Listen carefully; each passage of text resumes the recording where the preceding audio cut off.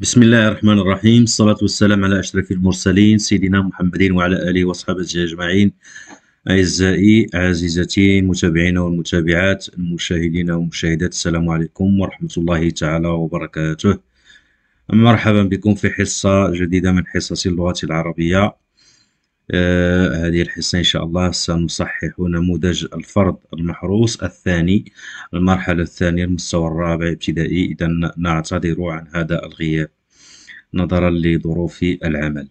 آه إذا في الحصة اللي دازت كنت آه لحيت واحد الفيديو خاص بفرد ثاني المستوى الرابع ابتدائي. إذا هي المرحلة الثانية. هذه الحصة إن شاء الله سنقوم بتصحيح. إذا نتمنى أنكم تتبعوا معايا باش هكا أنكم تستافدوا أكثر. وتكتسبوا آه، مهارات وقدرات باش أنكم تتعاملوا مع الامتحان إن شاء الله. عندي هنا واحد النص هنايا قال لك السؤال الأول. أقرأ النص. اذا سوف أقرأ النص. قراءة معبرة تحترم علامات الترقيم آه، حتى يتسنى لنا الإجابة عن باقي الأسئلة. اذا آه، لدينا نص كثير منا من يبحث عن صديق ذو أخلاق طيبة يستفيد منه. لكل باحث عن مثل هذا الصديق يجده في مكان واحد وهي المكتبة. لن يجد الإنسان جليسا يجالسه ويقضي معه أجمل الأوقات أفضل من الكتاب. فإنه كما قال الشاعر واصفا للكتاب بأنه خير جليس في الزمان. لذلك يجب علينا أن نهتم بالقراءة ونجعلها منهاج حياتنا إذ لا تجعل يوما يمر عليك دون قراءة الكتاب الجيد. مثل الصديق الجيد فعليك أن تعتني باختيار الكتب التي تريد أن تقرأها. حتى تبني أفكارا إيجابية تساعدك على إنارة طريقك في الحياة والتغلب على المشاكل. تختار الكتب المفيدة التي تبني ولا تهدم لأن بالقراءة نهضة للأمم وبناء للحضارات. إذا كما سمعتوا النص هنا كيتحدث عن الكتاب وكيف يمكنك أن تختار الكتاب أفضل أفضل صديق وأفضل جليس. وكيف أن القراءة نعم هي آه، منهاج. كيف يمكن أن نجعل القراءة هي منهاج حياتنا إذن أول سؤال هنا متعلق بالفهم. أول سؤال أصل بخط بين كل كلمة وشرحها. الشرح ديال طيبات نعم الشرح ديالها حسنة وجميلة. ثم لدينا تهدم أي تكسر أو تكسر. ثم جليس لدي أنيس وصديق. السؤال الثاني أضع علامة في خانة العنوان المناسب للنص. كما قلنا بأن النص يتحدث عن الكتاب. لدينا هنا وضعنا علامة في خانة الكتاب لأن النص يتحدث عن الكتاب. نعم السؤال الثالث أين يمكن للباحث عن صديق أن يجده انطلاقا من النص؟ إذا يمكن للباحث عن صديق أن يجده في المكتبة. هنا الأمر كيتعلق الصديق هو هو الكتاب والكتاب نجده في المكتبة. السؤال الرابع بما شبه الشاعر الكتابه في النص؟ دائما انطلاقا من النص. شبه الشاعر الكتابه خير جليس في الزمان. إلى لاحظتوا رجعوا معايا لهنايا النص. كتلاحظوا بأنه فإنه كما قال الشاعر واصفا الكتابه بأنه خير جليس في الزمان. اذا هذا هو الوصف اللي عطاه الشاعر للكتاب. النص كيتحدث عن الكتاب ببساطة. خامسا يعتبر الكتاب مصدرا من مصادر المعرفة. أذكر مصادر أخرى للمعرفة. إذا إذا بغيتي تقرأ وبغيتي تعرف راه ما كاينش غير الكتاب. وخاصة في هذا الوقت الحاضر دابا الوقت اللي فيه حنا دابا راه كاين المصادر ديال المعرفة والعلم كاينة بزاف. إذا ممكن أنك تستقي المعرفة من من الكتاب وممكن تستقيها من من من مصادر أخرى. إذا ماذا أقول؟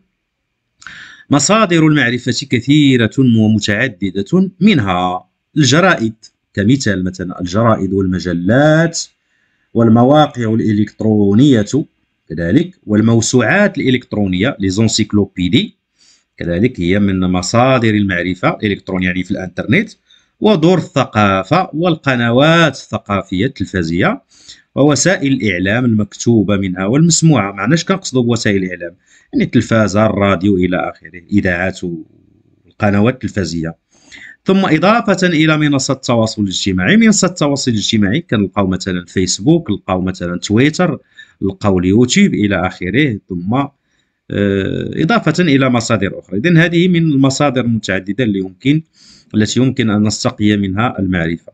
أه نمر الآن إلى تراكيب هنا عندي أتمم جداول التالية بما يناسب عندنا الجمل الفعل الفاعل المفعول به. إذا نرى أنا كنشرح وفي نفس الوقت إلا بانت لي شي حاجة يعني ما, واضحاش وشي حاجة اللي تقدر أنكم ما تفهموهاش راه غادي نوقف عليها. طالما أنني ما كنوقفش هنا في شي سؤال بمعنى راه كلشي بسيط. الجمل عندي هنا ضرب الولد الكرة. ضرب هو الفعل الولد هو الفاعل كرة هي المفعول به. كنعرفوا الفاعل دائما بالسؤال الشهير ولا المعروف من قام بالفعل هو الفاعل ومن وقع عليه الفعل هو المفعول به. اذا ضرب هنا هو الفعل من قام بفعل الضرب هو الولد اذا فهو الفاعل ثم المفعول به هو الكرة من وقع عليه آه، فعل الضرب. تعشق الأسرة المسرح تعشق هو الفعل وهو فعل مضارع. الأسرة هي الفاعل المسرح هو المفعول به.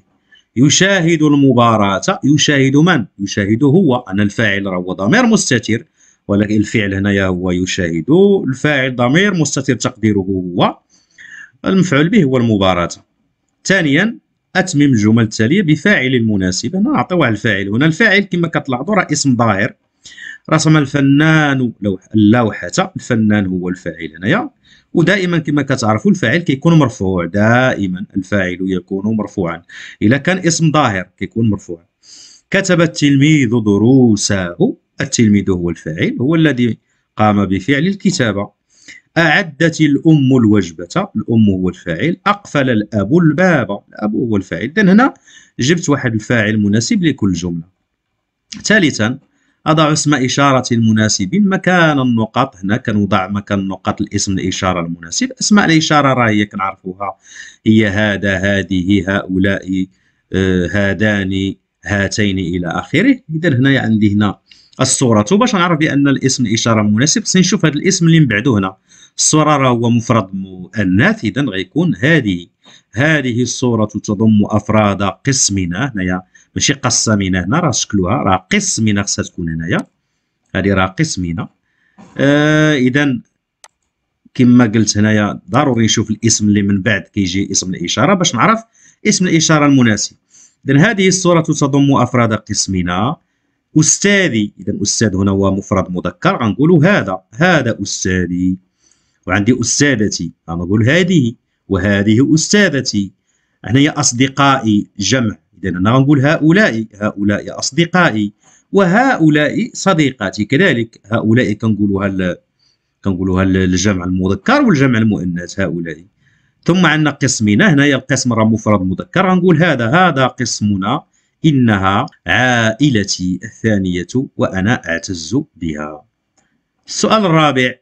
أركب الأفعال الآتية في جمل مفيدة. عندي وقف هذا فعل مثال. أنا شجع هذا فعل مضاعف وهنا دخل فعل سالم اذا أنا عطيت الأم... عطيت الأنواع ديالهم فقط ولكن أنتم تركبوهم في جملة.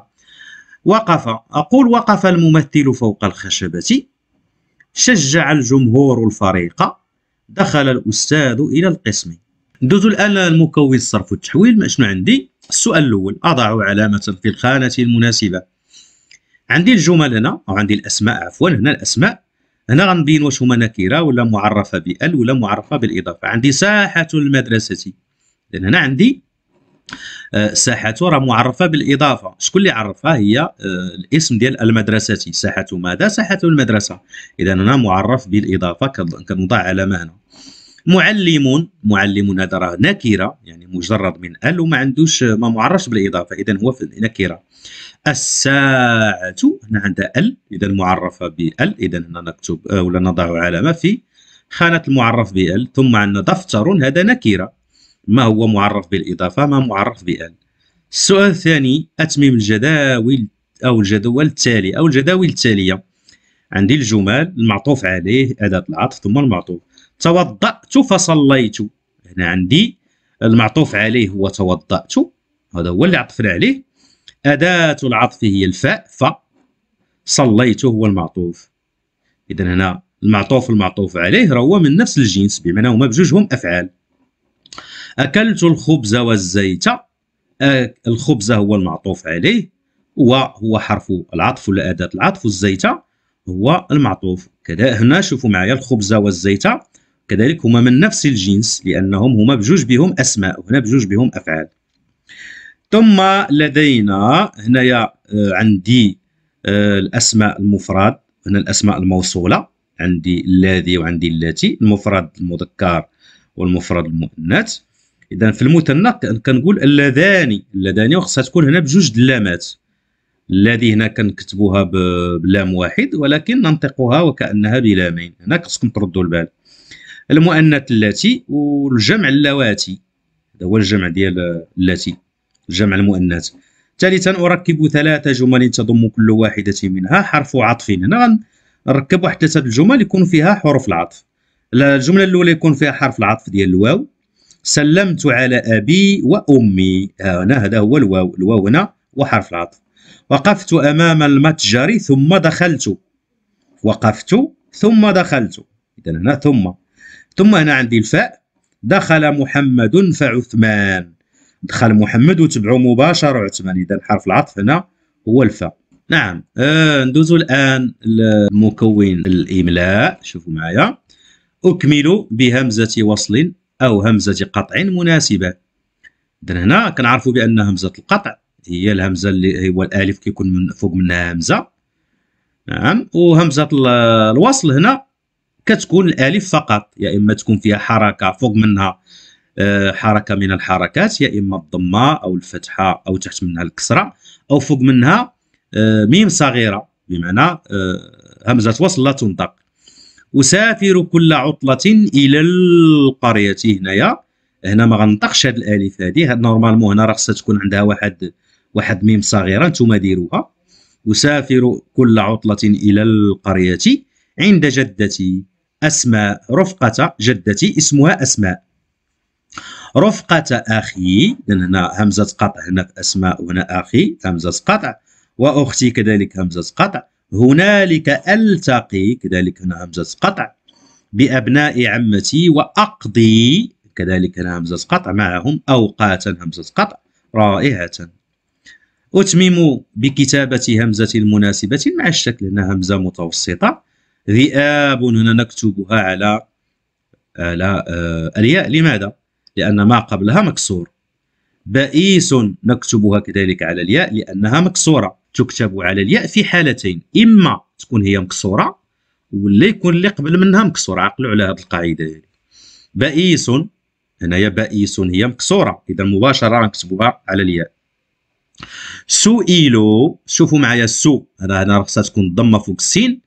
ولكن لا تهمنا. علاش؟ لأنها هي مكسورة وبالتالي مباشرة غنكتبوها على الياء. مطمئنين. كذلك هنايا هي راها هي مكسورة غنكتبوها على الياء. لا تهمنا الحركة التي قبلها. وئام هنايا راها هي مفتوحة ولكن ما قبلها مكسور. كنعرفوا بأن الكسرة هي اللي كتغلب الفتحة. مليئة هنا كذلك نكتبها على الياء أن ما قبلها مد بالياء. ثالثا أربط الحروف وأكتب الكلمات كتابة صحيحة. إذا اش غنقول متكئين. ماشي مبعثرة هنا وإنما غادي نلاقي هاد الحروف هادو غنلاقيهم باش نكتب الكلمة صحيحة. متكئين. غنكتب الهمزة المتوسطة هنا عليا لأنها مكسورة. مليئة. هنايا سوف أكتبها على الياء لأنها ما قبلها مد بالياء. وئام. هنا أكتبها على الياء لأن ما قبلها مكسور. وئام. مائدة سأكتبها على الياء لأن ما قبلها مد بالألف. هنا السؤال الرابع أكتب النص الذي سيمليه علي أستاذي. إذا هنا كيتعلق الأمر بكل أستاذ وشنو غادي يملي عليك؟ واحد ثلاثة ديال الجمل ولا أربعة ديال الجمل. كيمليهم عليك الأستاذ وأنت كتحاول تكتبهم. آه، كتابة صحيحة وكترد بالك الهمزة الهمزة الوصل عفوا كترد بالك الهمزة الوصل وهمزة القطع وترد بالك الهمزة المتوسطة. هذا هو الهدف من هذا الإملاء. ثم لدينا مكون التعبير الكتابي أعلق على الصورتين باستعمال التقنيات التي اكتسبتها في درس التعليق. إذا هنايا غتعلق في غضون أربع أسطر لكل صورة. كنديروا التعليق على الصورة. نتوما شفتوا المهارات واكتسبتوا هذوك المهارات والتقنيات باش تعلقوا على على الصورة. إذا هنا كنموذج هنا عطيتكم واحد النموذج. دائما حرصوا أنكم تعلقوا على الصورة وتقولوا هذاك الشيء اللي كاين في الصورة. بمعنى توصفوا هذيك الصورة. وتحاولوا ما أمكن آه، تجردوا كاع داك المكونات ديال الصورة اللي كاينين. اذا هنا ببساطة ماذا يمكن أن نقول؟ تعبر الصورة عن أطفال صغار. كما كتلاحظوا هادو أطفال صغار وهم يلعبون في ساحة يلعبون في واحد الساحة. طفلة صغيرة حافية القدمين. شوفوا واحد الطفلة هنا راه حافية القدمين. تلعب مع أخويها الصغيرين. كتلعب مع جوج ديال خوتها صغار. وهما وسط كيس. هما راهم في واحد وسط كيس تبدو عليهم علامات السعادة. هما راهم فرحانين بهذاك الشيء اللي كتقوم به الأخت ديالهم. والفرح بما تقوم به أختهما وهي تحاول إسعادهما. كتحاول تلعب معهم وتفرحهم. أعيد. تعبر الصورة عن أطفال صغار وهم يلعبون في ساحة. طفلة صغيرة حافية القدمين تلعب مع أخويها الصغيرين. وهما وسط كيس تبدو عليهما علامات السعادة والفرح بما تقوم به أخته أختهما وهي تحاول إسعادهما. شوفوا الصورة الثانية. شوفوا معي هذه الصورة هذه. مجموعة من الأطفال الصغار كذلك يوجدون بفضاء نعم داخل القسم هنايا. مجموعة من الأطفال الصغار داخل فضاء القسم وهم يلعبون بواسطة بالونات عندهم منفاخ كما كتشوفوا. يحتفلون جماعة وضعت فوق الطاولة. شفتوا الطاولة هنايا؟ هدايا.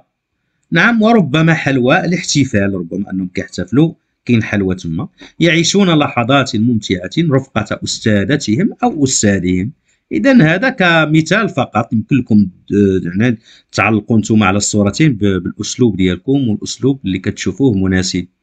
إذا هذا كان نموذج للتصحيح ديال الفرد المحروس المستوى الرابع اللغة العربية فرد المحروس المرحلة الثانية. نتمنى تكونوا استفدتوا. إلى عندكم شي أسئلة آه، بخصوص آه، أي آه، امتحان لجميع المستويات للرابع ولا الخامس ولا السادس وحتى الإعدادي الرياضيات ولا الفيزياء. مرحبا خلوها لي في التعليقات. أشكركم على انتباهكم وإلى حصة مقبلة بحول الله.